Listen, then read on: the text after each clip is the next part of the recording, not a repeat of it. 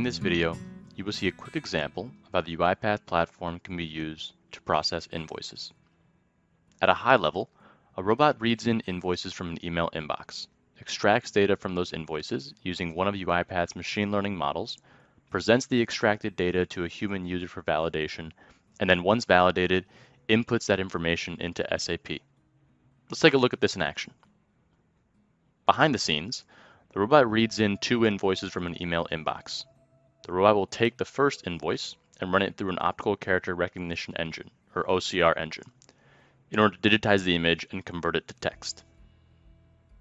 Once digitized, the result is passed on to UiPath's Invoices machine learning model, one of our out-of-the-box ML models that customers can use in their document processing solutions.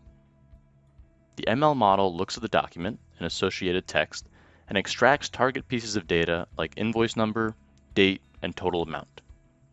If needed, that information can be displayed to a user in our validation station, where a human user can view the ML model predictions and make any corrections as needed, or verify they were made correctly. Once the data is validated, the robot takes the data and exports it into the target downstream data source. In this example, SAP is the target application where invoice data needs to be entered. But this could have been a database, this could have been a web portal, or even an Excel workbook. Once the robot enters in the required information, it moves to the next invoice and performs the same series of steps, digitizing the document, extracting information critical to the business process, presenting that information to the business user as needed, and lastly, inputting the validated information into the downstream business application.